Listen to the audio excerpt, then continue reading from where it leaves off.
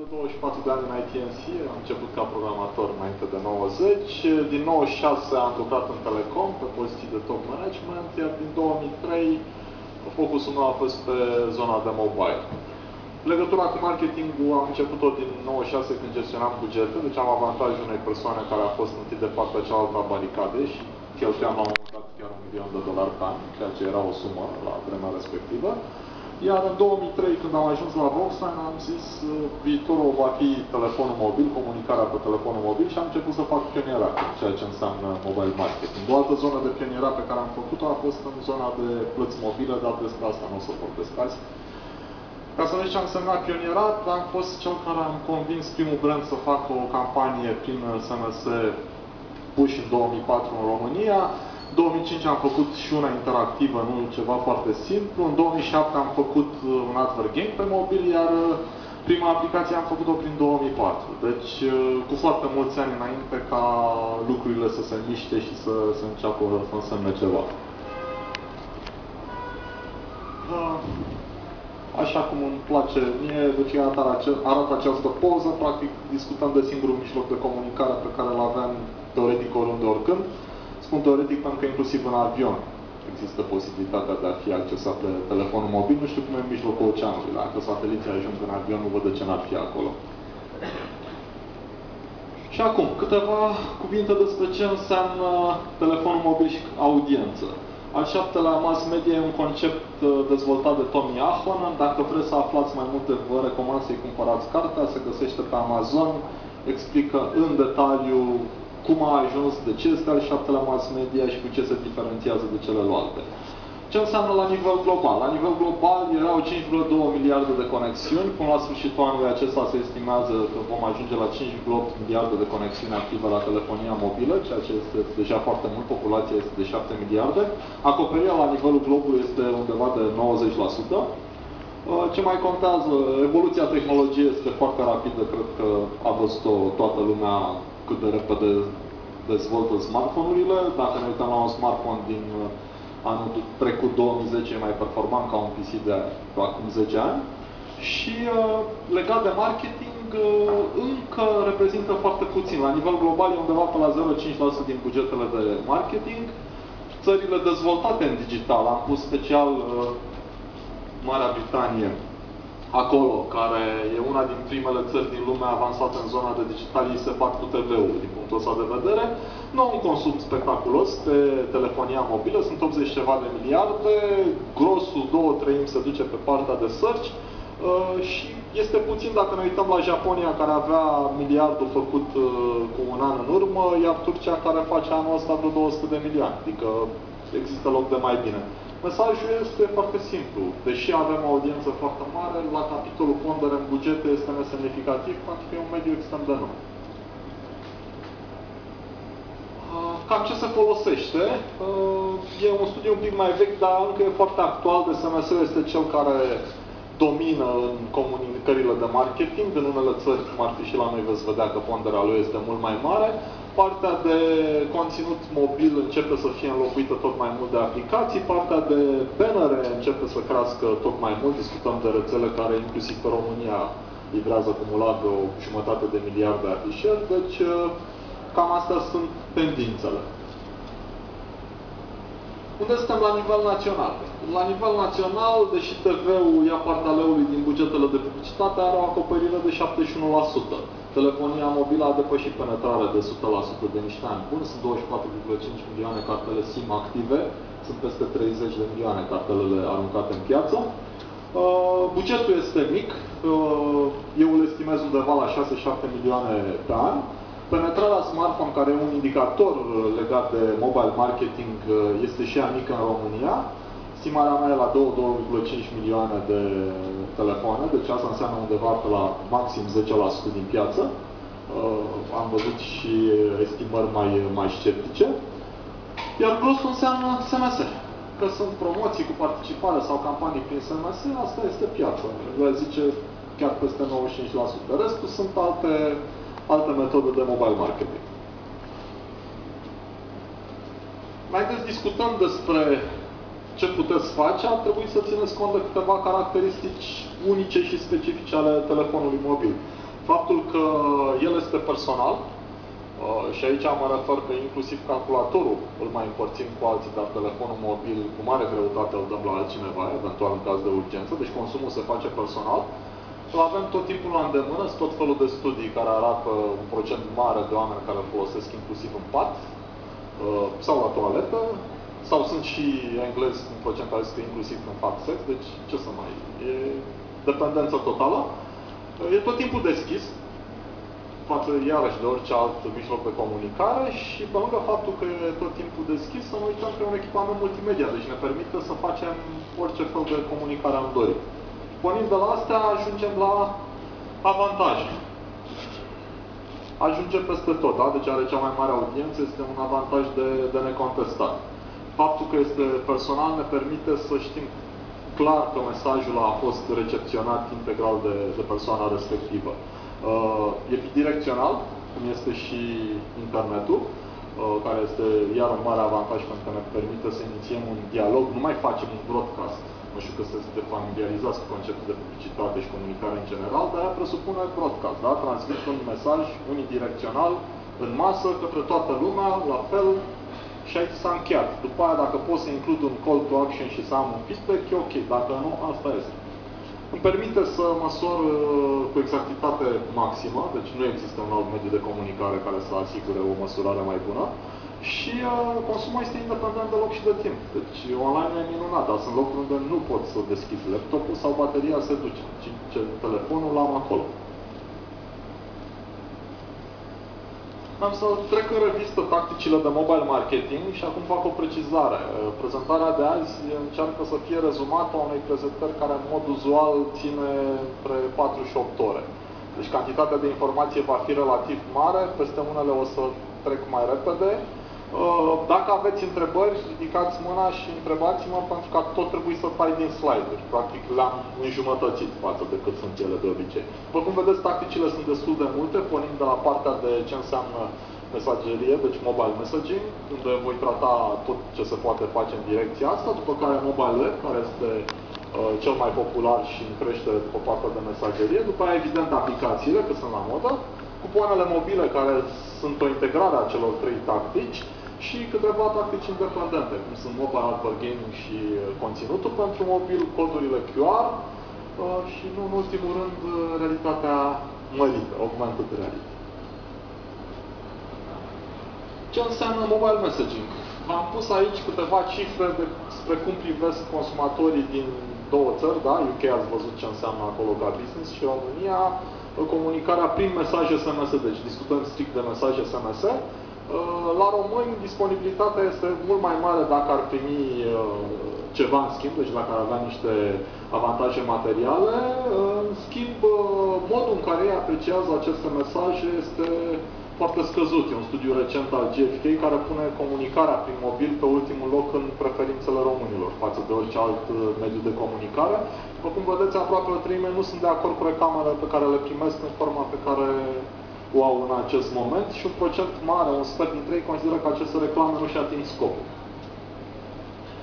Uh, iar un citat care îmi place foarte mult, practic, este primul vehicol de comunicare cu care oamenii se duc în pat, e peste tot, oriunde și indiferent de spațiu și, și timp. Cum stăm în România? În România dacă global, ați văzut, sunt peste 209.000 SMS-uri trimise pe secundă, noi am reușit să atingem 20 de milioane de mesaje zilnic din 2009. 2010 n-a fost o creștere foarte mare. Ce înseamnă asta? Înseamnă că la 20 de milioane de locuitori, dacă facem o socoteală simplă, vedem, vedem cum stăm. Nu, nu suntem foarte mult față de, de nivelul global. Eu aveam niște clipuri, asta s-ar putea să meargă, legat de comunicarea prin SMS,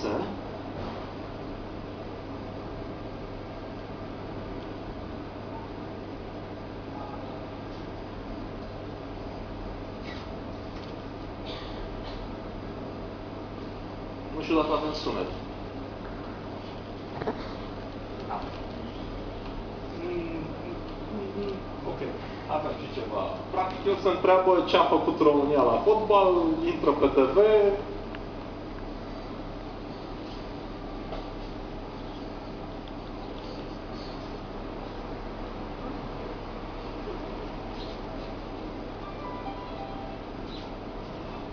cunoaștem, vrem să accesăm o informație, ne bucurăm din plin. Îi sună mobilul. Evident că nu are nicio legătură cu ce se aștepta eu.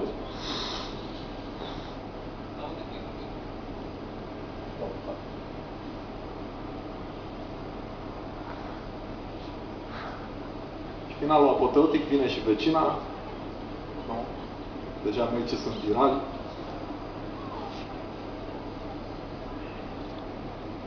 În esență, cam așa se întâmplă comunicarea prin SMS. Uh, deși o facem cu acceptul persoanelor, deci nu discutăm de, de spam. Sunt diferite situații în care oamenii și-au dat acordul, majoritatea nu și-aduc aminte, asta altă discuție.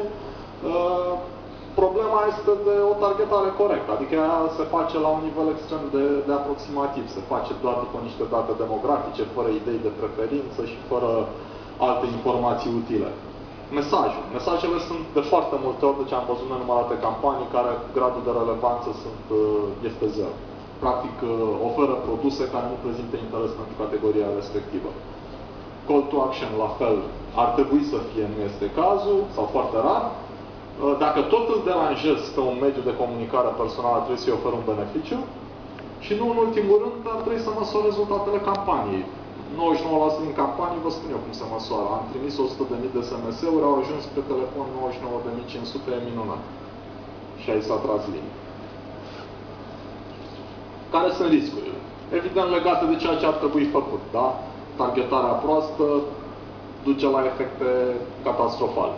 Nu numai că nu ne atingem obiectivele, dar începem să ne izbim de probleme, discuții pe bloguri, social media mai amploare și nu odată am văzut comentarii pe, pe tema unor mesaje SMS. Uh, mai există un risc, sunt niște furnizori foarte ieftini care pot trimite SMS-urile la prețuri de dumping. Uh, ei fac asta pentru că nu folosesc conexiunea directă cu rețelele locale, care rețele locale impun niște prețuri minimale. Prin urmare, când se prinde operatorul, a tăia conexiunea, tu ai semnat cu el contract, ei dat bani că se merge de regulă pe prepay, iar mesajele nu mai pleacă. Și partea cu mesajul irrelevant am explicat-o, ați văzut-o și în clip, nu cred că e cazul să o mai detaliez. Se poate folosi practic în orice domeniu de marketing. La noi se face destul de mult CRM, dar nu cum ar trebui mă gândesc la sistemul Balcan, bancar care cam abuzează cu remindere de rată și de treburi de genul ăsta, în loc să mai trimită din când în când și un la mulți ani sau un bonus sau un ceva de ziua da, deci CRM-ul nu înseamnă doar vezi să-ți amintesc că ai o datorie. Uh, și practic eu l-am văzut aplicat în toate domeniile de acolo. Deci loialitate, oferte speciale, produse noi venite pe piață, lansare de produse, inclusiv pe branding.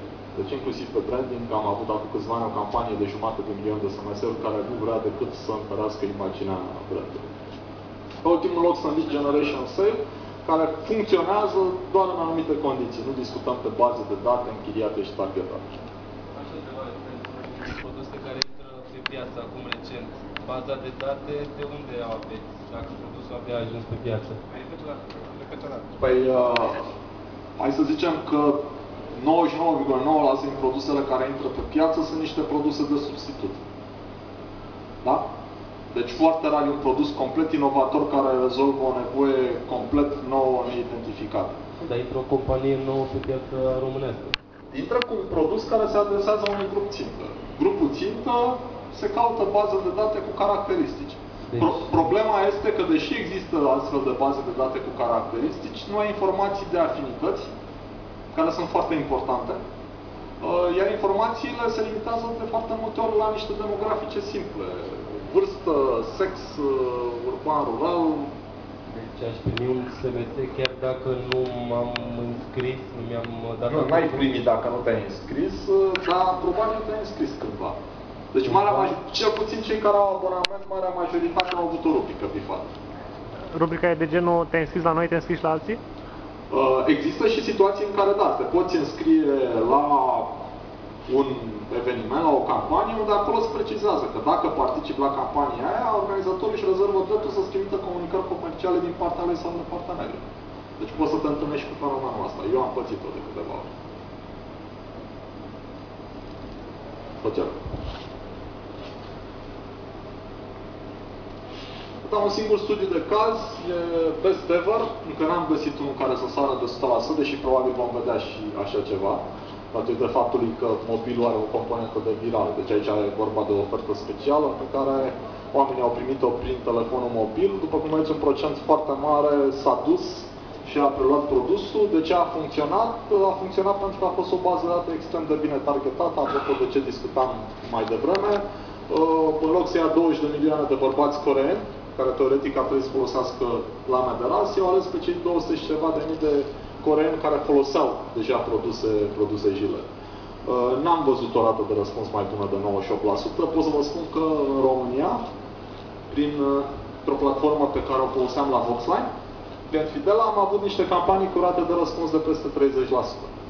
Ceea ce eu consider că este decent față de marea majoritate, unde în cazul concret iau și închiriez o bază pe niște demografice, dacă am 1% este minunat.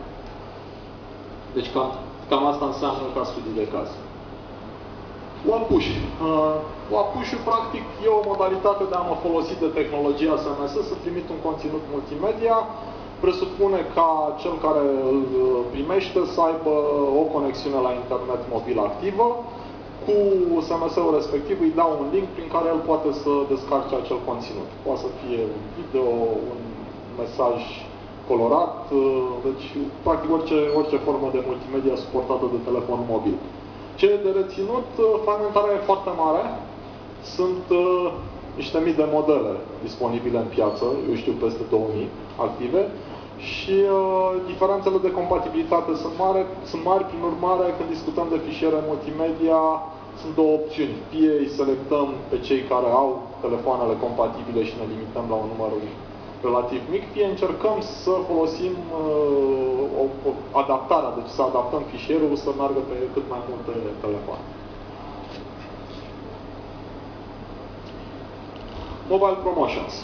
Aici e vorba de campaniile cu participare prin SMS. Uh, practic, e de departe cea mai eficientă metodă de a intra într-o promoție. Logica e destul de simplă, e foarte comod pentru oameni. Dacă vă amintiți, văd că sunteți destul de tineri, nu știu cât dintre voi ați prins, dar era o perioadă în care orice promoție presupunea cumperi produsul, te duci la poștă, trimiți plicul și la revedere.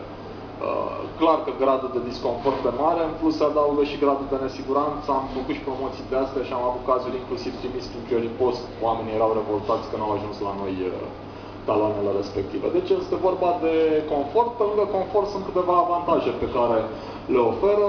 Faptul că pot să interacționez, să am acea comunicare bidirecțională, pot să lipesc de campania respectivă anumite elemente în care să duc promoția și înspre partea de branding, nu neapărat de vânzări și uh, este totul instant, adică el a trimis mesaj, l-a primit pe loc uh, și mai ales e independent de timp. Nu trebuie să mă duc la un calculator, să caut codul, să-l scot și să-l să, -l, introduc. Pentru cine e curios, Voxline face o monitorizare încă din 2008, piața s-a dublat de la an la an, există un raport cu piața de promoții prin SMS, puteți găsi detalii pe mobile market, pe un rezumat sau în anumite situații știu că puteți avea acces chiar la, la rapoartele complete. Un exemplu de mobile promotion, ce vă spuneam, e cea făcută în 2005, care avea parte de interactivitate, nu doar că trimiteai un cod unic pe care îl găseai sub capac, trebuia cu codul respectiv să licitezi o sumă virtuală pentru a câștiga un telefon mobil. Licitația a durat timp de o oră, practic se mergea pe mecanismul, cumpăram mai multe coduri, să am mai multe șanse să fac mai multe sume, primeam feedback, vedeam cum, cum aflu clasat. Uh, majoritatea campaniilor prin SMS sunt uh, extrem de simple. Iau codul și l-am trimis și mulțumesc pentru participare. S-a închis aici.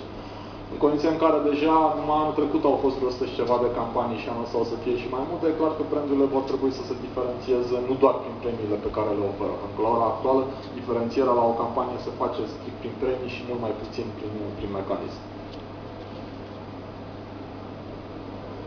CMMS-ul, îi spun un SMS multimedia, din păcate, adopția lui e foarte mică în România. După cum vedeți, acolo sunt 30 și ceva de mii de MMS-uri pe zi, dacă ne uităm la numărul de SMS-uri, nu avem termen de comparație. Uh, problema este că are și un cost incomparabil mai mare decât SMS-ul, iar uh, efortul de a avea o bază de date cu MMS-ul este extrem de mare. Asta nu înseamnă că nu funcționează, uh, funcționează tocmai pentru că poate trimite multimedia. Vă dau un exemplu de la BMW în Germania, în care, ca și la noi, bine, la legea era mai de mult, uh, e obligativitatea cauciucurilor de iarnă când vine sezonul rece, ce au făcut ei pe baza de date a tuturor celor care au cumpărat mașină din primăvară până în toamnă, în momentul în care a dat prima zăpadă, au dat un MMS, MMS-ul respectiv era poza mașinilor, în care și-o vedeau frumos cum ar arăta cu cauciucuri de iarnă și invita să-și cumpere și să schimbe cauciucurile. După cum vedeți, au avut o rată de conversie de 30%.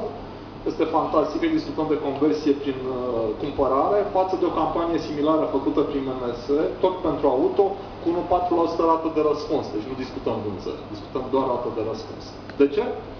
În România s-a închiriat o bază de date pe niște demografice, nu s-a folosit o bază de date de clienți despre care știm că erau direct interesați de produsul respectiv.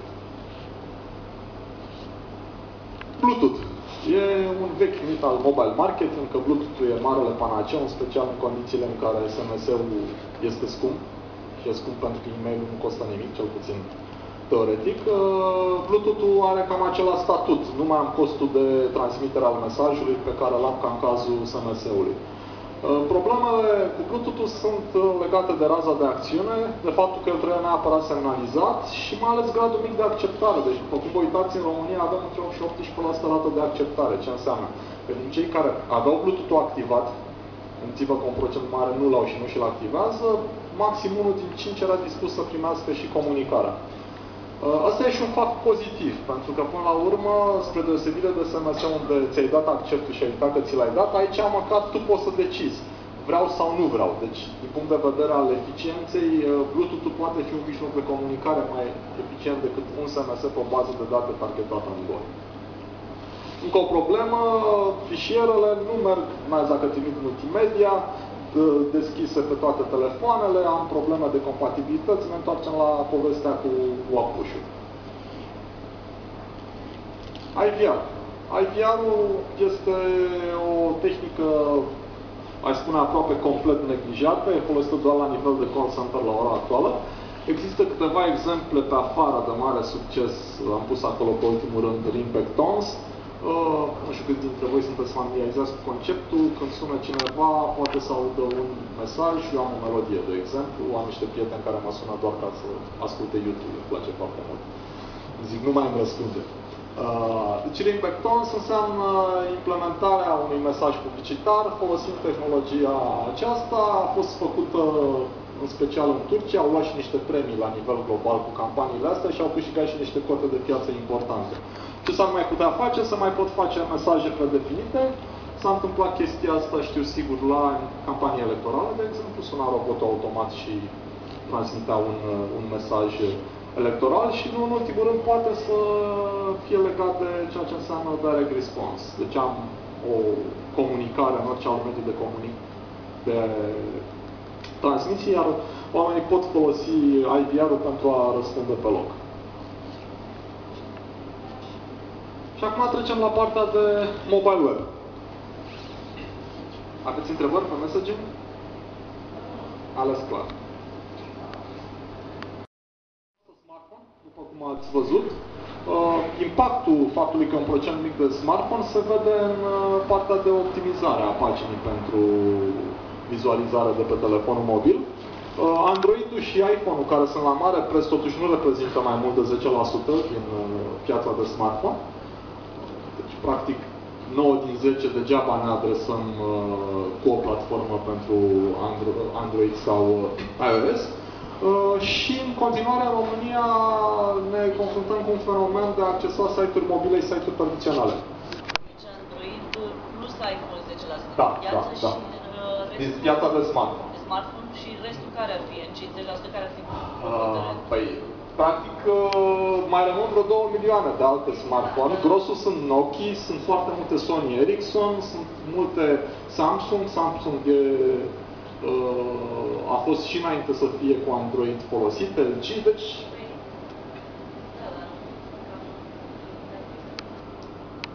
Deci de ce înțelegi prin limitative.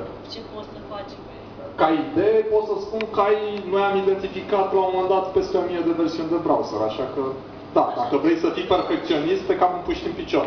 Trebuie să te hotărăști către cine vrei să comunici optic, soluția e simplă, o să ajungem când descriu ce se poate face.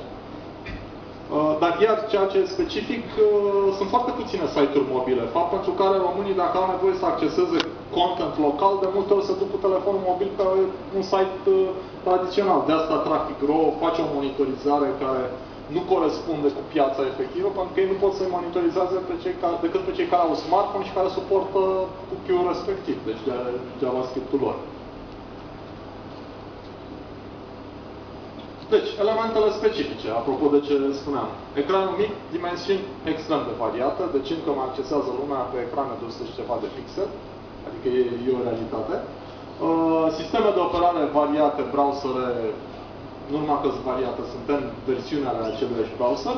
Tastatura e mică, asta e un alt handicap dacă discutăm de a culege date din mobile web. Uh, hardware-ul e clar mai slab ca la PC, deci să nu îl punem, să-i trimitem imagini imense și alte treburi de genul ăsta, că mai îmbătrânește calculatorul, dar nu știu telefonul. Iar experiența e limitată tocmai datorită faptului că ecranul e mic. Deci mă apuc și fac un site și scrollez 20 de ecrane în jos, credeți-mă că lumea abandonează. Și din păcate sunt multe site-uri mobile în România unde scrollezi. Mai mult de 5 care e maximul recomandat de NMA. Și aici ajungem la, la ce spuneam, cu optimizare cât mai multe telefoane. Deci soluția pe care o făceam noi era să facem o versiune care să meargă chiar și pe cele mai proaste telefoane și să o servim pe majoritatea celor care au sub o rezoluție, de la 200, nu, de la 200 și în jos. Iar de la 240 în sus începeam să le, să le ajustăm. Dar este cea mai elegantă soluție. Plus sunt o grămadă de aspecte tehnice. Multe, multe lucruri care nu pot fi folosite, dar n-aș vrea să intru în parte tehnică.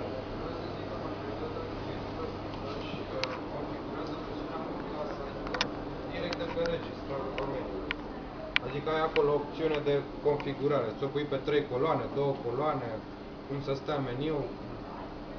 Pe trei coloane, versiunea mobilă. Pe două coloane, pardon. Pe două Pe două coloane, da, cer scuze. Da, deci nu știu ce pe configurarea aia, dar, Dar pe, nu cum. dar pe mobil nu se merge, se merge, se evită frame-uri, coloane, deci se merge o singură coloană. Dacă nu vrei ceva prea complex, poți să Păi nu lucrezi este mult la ceva versiunea complex. Discutăm mobilă. acum de specificul ecranului. Ecranul este foarte mic. Deci nu discutăm nici măcar de 640. Da, am înțeles. Deci la 240 spun eu că nu poți să pui două coloane. Încearcă să gândește că bannerele se lucrează la 300 și un pic de pixel și am o problemă în a comunica suficient de multă informație. Deci nu știu, există tot felul de tool care îți permit să-ți facă versiuni. Dar nu știu cât sunt de eficiente și mai ales nu știu câte variante tratează. Ce, ce am văzut eu, am văzut mai degrabă tool care se mișcă bine pe smartphone. Deci au făcut și smartphone de ultimă generație. Discutăm Android și iOS. Nu discutăm de Symbian, de exemplu. Browserul de, de Symbian. Ok. Uh, câteva elemente specifice și prin care se diferențiază mobile web-ul de internet sunt acele funcții pe care le vedeți acolo, de la call to SMS, da? Deci pot să dau click și trimit un SMS, pot să dau click și să sun, pot să dau click și să lansez o comandă, deci practic am niște funcții pe care le pot valorifica și pe care de recomandat să le folosesc. Când am un site mobil și am și un call center, e păcat să nu pun numărul de call center cu click to call.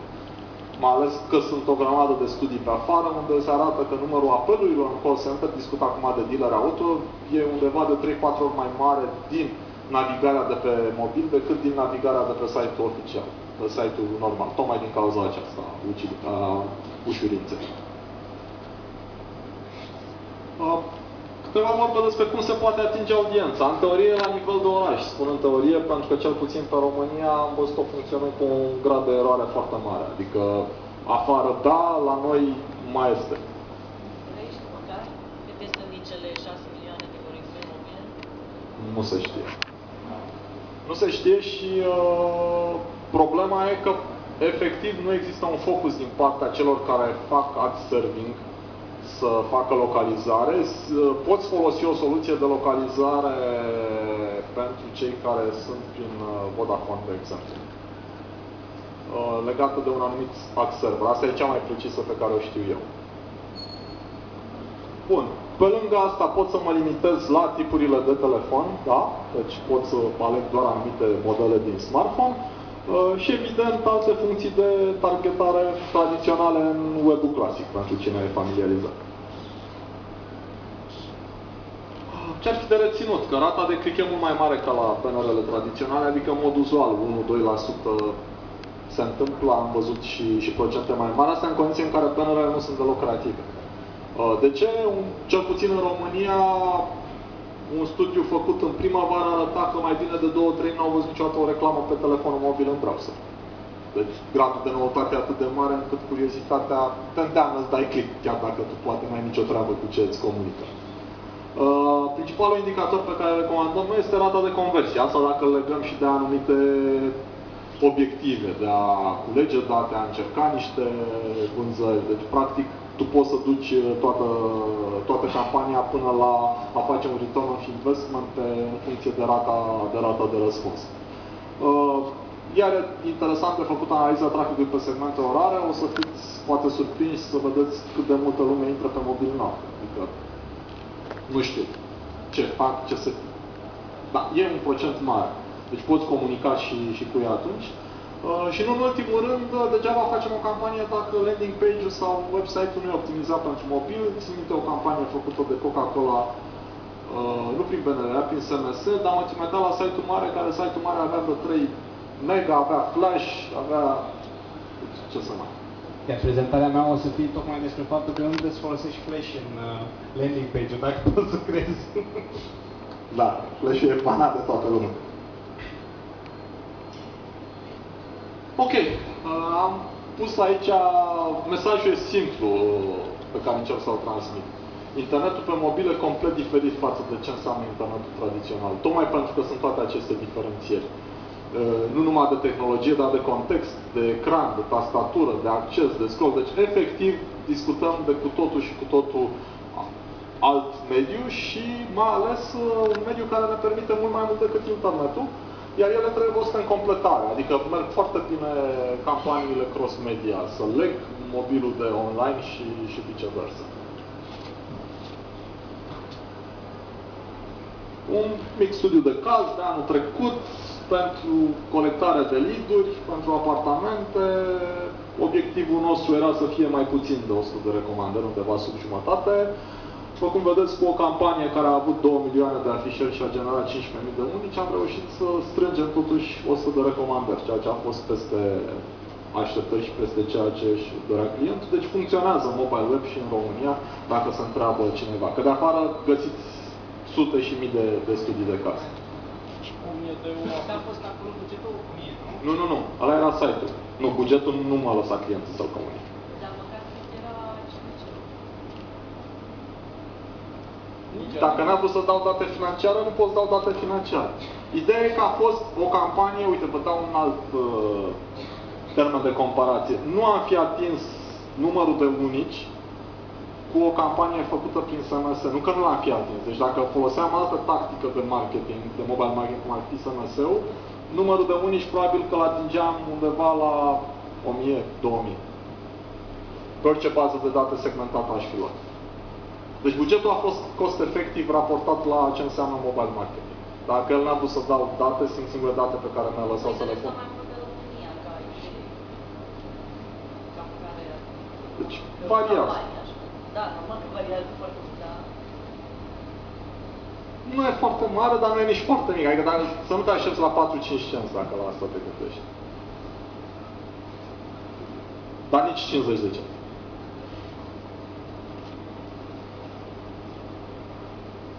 A, și mai e ceva. Uh, asta discutăm, campania a fost făcută prin rețele internaționale. Campania similară derulată pe orice ar fi însemnat site local vândut în România, costul era de 10 ori mai mare. Adică diferența este fantastică din punctul ăsta de vedere, rezultatele nu puteau să fie mai bune. Pentru că am făcut și testul ăsta, am folosit și site-uri locale, tocmai ca să stăm noi cu mâna pe inimă că nu neglijăm o oportunitate, plătesc de 10 ori mai mult, dar poate am o rată de conversie de 10 ori mai bună. Nu, nu a fost cazul.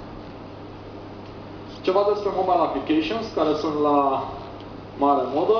Eu le definesc prin uh, acces la informații utile. Am neglijat segmentul de jocuri, deși și jocurile reprezintă tot aplicații pentru mobil. Uh, După cum am spus și acolo, sunt de două tipuri, pasive sau active. Pasiv am descărcat-o, am murit cu ea așa. Activ înseamnă că am nevoie de o conexiune la internet și informația se actualizează regulat. Un exemplu de aplicație de Cinemagia, care își actualizează și nu e singura. Prima de genul ăsta a fost Metropotama, acum foarte mulți ani făcută pentru Symbian. Uh, Care sunt avantajele? Că pot să integrez brandul oriunde în aplicație. Am să vă arăt și un exemplu cu Pizza Hut. Din păcate, nu o să pot să vă arăt clipul, dar puteți căuta, vă spun două vorbe despre cum a funcționat. Și îmi permite o segmentare mult mai dedicată audienței ca la jocuri. Jocurile fiind casual, destul de multă lume se duce spre. Uh, Ce recomand eu? Pentru că oricum e o dezbatere permanentă uh, aplicații native versus aplicații uh, mobile, uh, web, pentru că pot să o fac și pe web.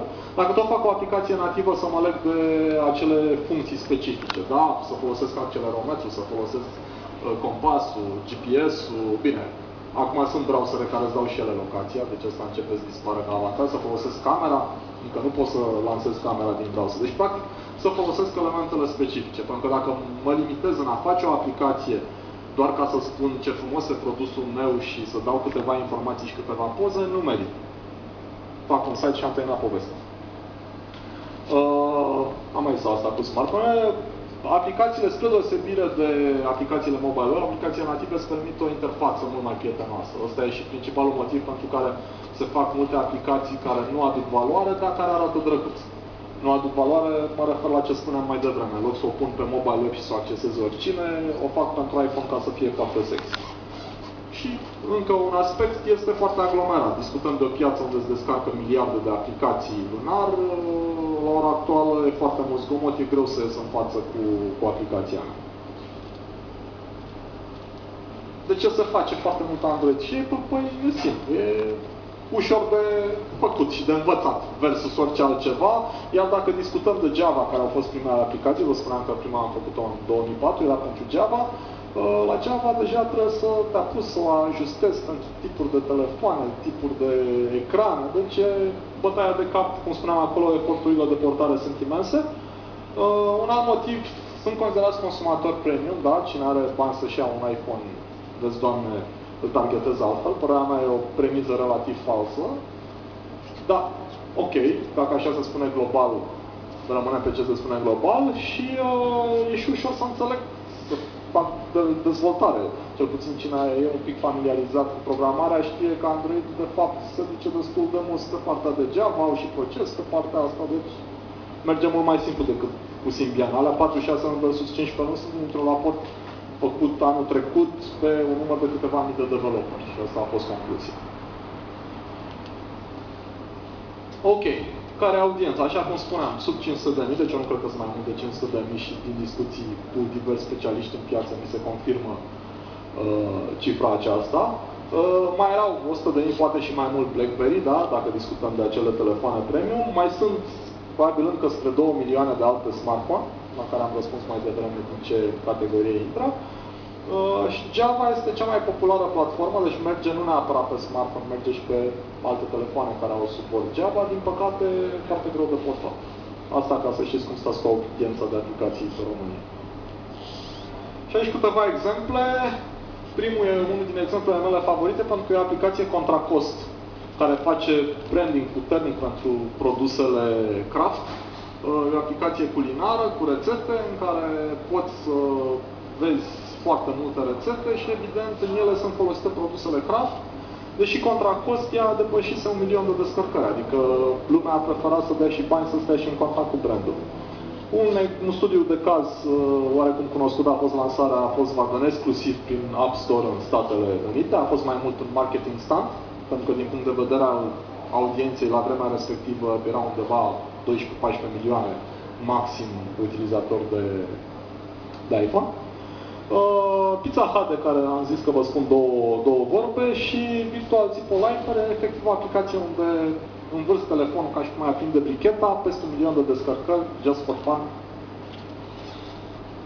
Ok, deci ce făcea Pizza Hut? Pizza Hut îți permitea, dacă căutați un link pe YouTube, îl veți găsi moce, îți permitea să-ți configurezi tu pizza și să o comanzi din aplicație, iar cât uh, așteptai să-ți facă livrarea, îți dau și un joc cu care îți pierzi timpul.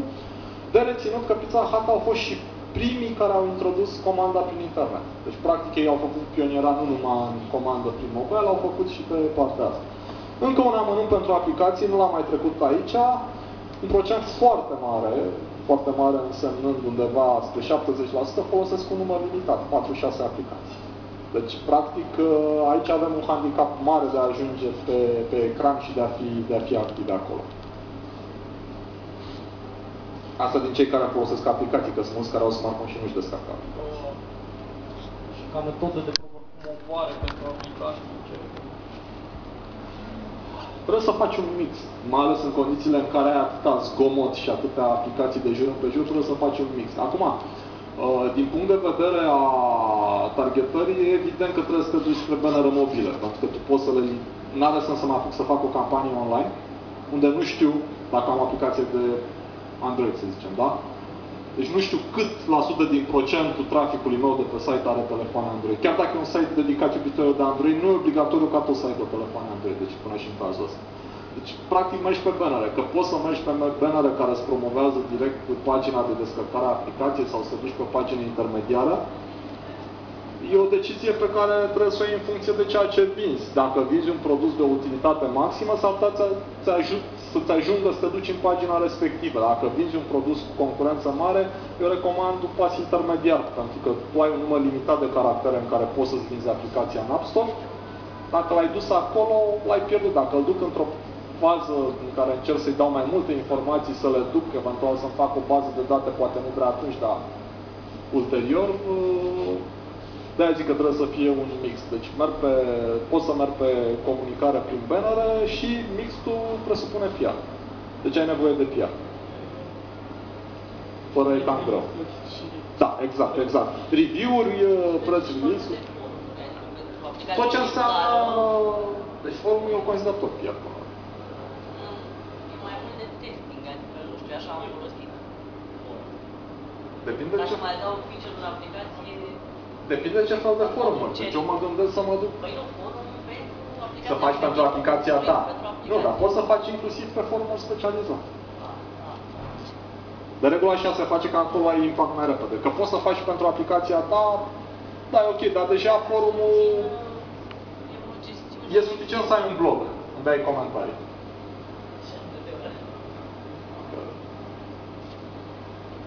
Ok, cupoane mobile. Practic, cupoanele mobile integrează toate cele trei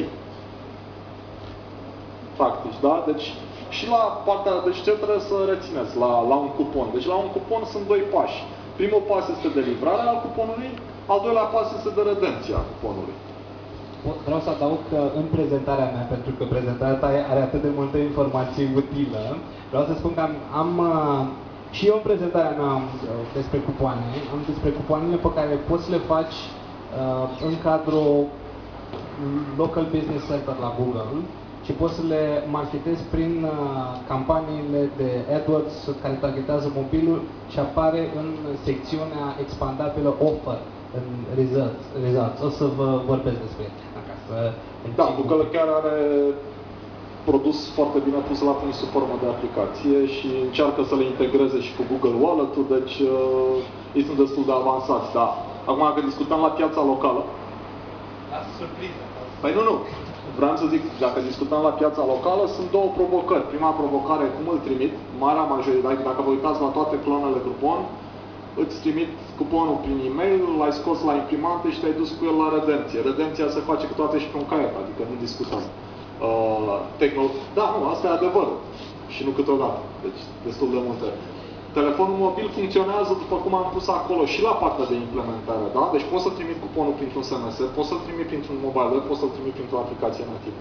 Partea de redenție pot să o fac tot printr-un SMS, pot să o fac prin mobile web, pot să o fac printr-o aplicație nativă sau pot să o fac prin IVR. Ce vă puneam acolo cupon plus era un scurt videoclip demo, iarăși n-am cum să vi-l arăt, eventual când veți primi prezentarea, Uh, veți vedea acolo link-ul. Practic, Coupon Plus e chiar un proiect de care m-am ocupat personal de când am plecat de la Volkswagen, care asta face. Deci rezolvă și implementarea și, și redenția. La noi nu există așa ceva, încă.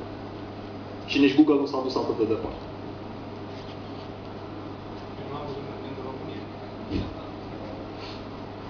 Ok. câte ceva despre Advert Games și content.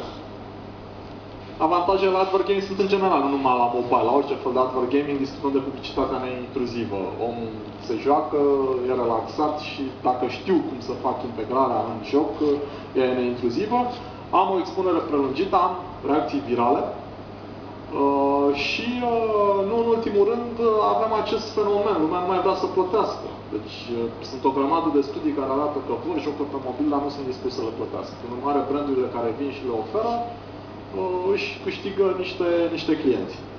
Nu în ultimul rând, pot să-mi fac o bază de date și să creez o interacțiune cu, cu brandul. Am să vă arăt și un exemplu mai încolo. Uh, ce ar fi specific? Iarăși, nu pot să fac cum a făcut Volkswagen doar pentru iPhone, că 200 de milioane de americani care pe 100 de milioane și puteau permite să-și cumpere o mașină, deci dacă mă opresc la maxim 10% din ei, e o problemă. Ar fi trebuit să mă duc pe mai multe, se putea face chestia asta, nu era mai complicat, o făcuse de exemplu Renault în 2007. Adică nu, nu era o problemă.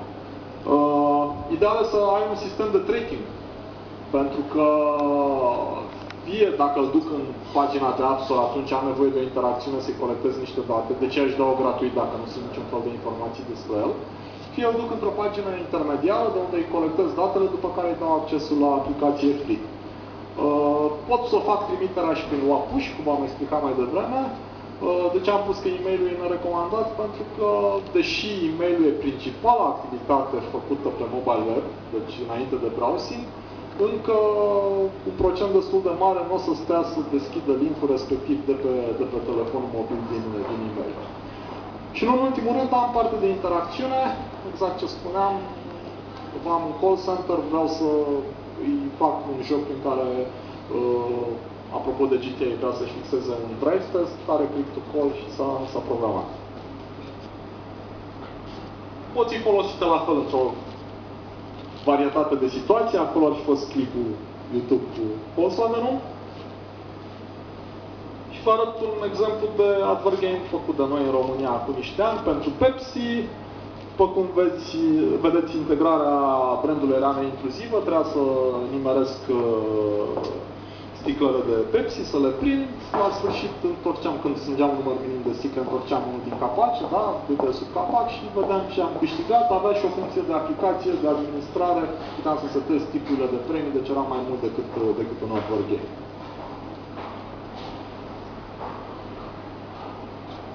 Conținutul pentru mobil sponsorizat, revenim la teza de dinainte, lumea îl vrea, dar nu e dispusă să-l plătească, prin urmare, merg și tonuri de apel, practic prima campanie pe care am făcut-o era cu, cu tonul de apel și cererea a fost de 5 ori mai mare decât m-am așteptat. Adică lumea a fost foarte fericită să, să primească chestii de astea gratuite.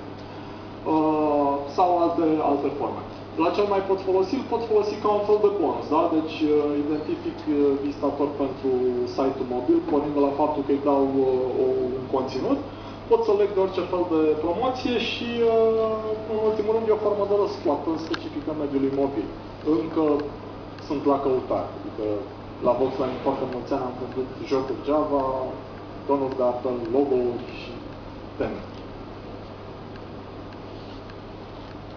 Exemplu de campanie făcută pentru Pepsi, la fiecare cod trimis, primeai și un logo personalizat, și cu vedetele de fotbal care la vremea respectivă erau sponsorizate de Pepsi și cu, cu brand. Mergem la QR Codes. Aveți acolo descrierea mai în detaliu. În esență, QR Codes sunt chestiile alea care arată mai ciudat. Nu sunt obligatoriu să fie pătrățoase, pot fi și rom și sub alte formule, adică se poate face destul de multe lucruri creative. Ideea e că e o tehnologie destul de nouă, ea a avut adopție exclusiv în Japonia, unde nu numai că toate telefoanele vin preinstalate, dar s-au băgat extrem de mulți bani în uh, comunicare, deci în educarea publicului a ceea ce înseamnă și cum poate să-l folosească. Spre deosebire de restul lumii, unde acest aspect este complet neglijat, deci chiar dacă oamenii poate au un cititor preinstalat, habar n ce să facă cu el, de-aia nici nu prind. Uh, esența QR codes este că ele funcționează ca un liant între offline și digital. Îl pot pune pe, în absolut orice context, uh, pe un panou outdoor, pe un banner, pe uh, o reclamă în presă sau la TV. Sunt anumite posturi TV în state de niște ani care pun QR codul pentru foarte devreme ca să-și promoveze accesul la informații despre brand. Uh, exemplu concret, uh, când am lansat acest ghid de mobile marketing, am pus și uh, un cod QR prin care se putea descărca. Am pus inclusiv informații cum se, uh, de unde putem să descărcăm un reader, pentru că astea iară sunt foarte importante, deci multă lume nu știe dacă se apucă și caută până găsește Uh, și dacă sunteți curioși, găsiți un ghid complet despre folosirea QR codes pe acel link la Voxan sau duceți direct la Voxan și căutați la resurse. La ce mai pot fi folosite? Afară sunt folosite deja la comparatoarele de prețuri. Intru în, uh, într-un uh, magazin, sunt curios să văd cât costă, de exemplu la noi, dacă tot se bate toată lumea că am cele mai mici prețuri, mă duc la Cora, vreau să văd dacă uleiul mai ieftin de la Carrefour, scanez codul de bare și văd cât mă costă în partea cealaltă și mă decid. Deja un procent destul de mare, nu mai știu cât era, parcă peste 30%, studiul făcut în state, se răzgândea un magazin în privința achiziției, tocmai datorită accesului la informație în timp real. Trebuie să fie cineva care centralizează toate. O fac ei. Da, deci Carrefour are implementat în Franța. Deci o fac ei. Păi, În România există ceva de genul ăsta.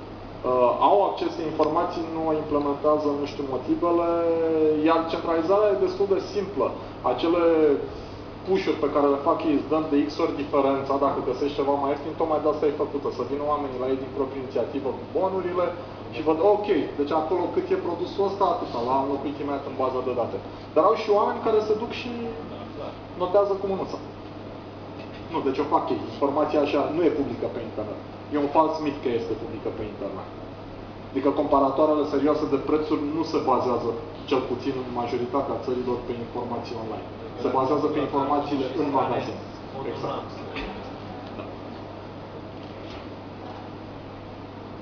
Ok, și ajungem la sfârșit, Mobile Augmented Reality. Aici chiar îmi pare rău că nu pot să vă arăt uh, exemple. Uh, Până la urmă, Mobile Augmented uh, e un element specific al mobilului.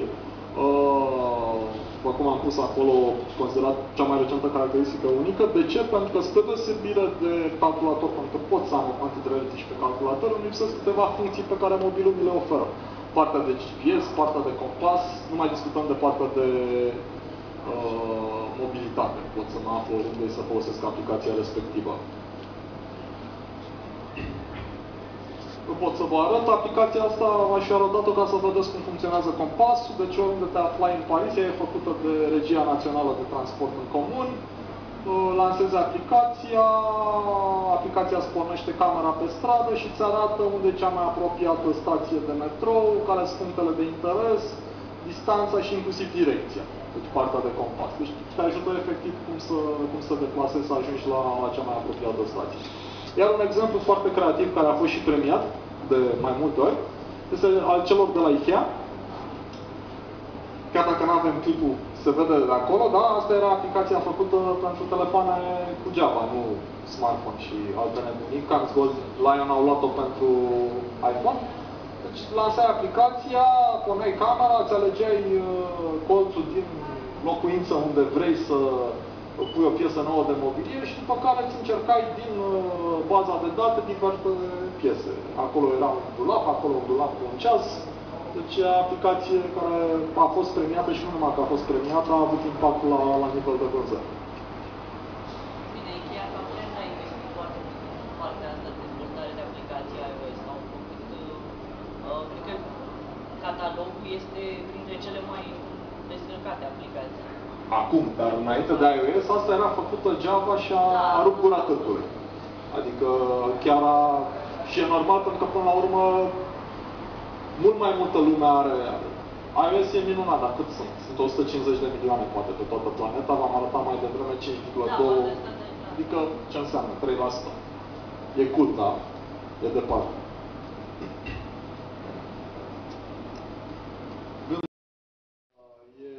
uitat de tehnologie, adică lumea se uită întâi la ce îi permite tehnologia și o folosește la minimă rezistență, după aia și pune creativitatea în funcțiune. De fapt, ea ca să funcționeze trebuie să fie bazată pe, pe creativitate. Deci ai soluții la orice, condiția să te gândești suficient de mult și să le găsești. Unde mă puteți contacta dacă mai sunt întrebări.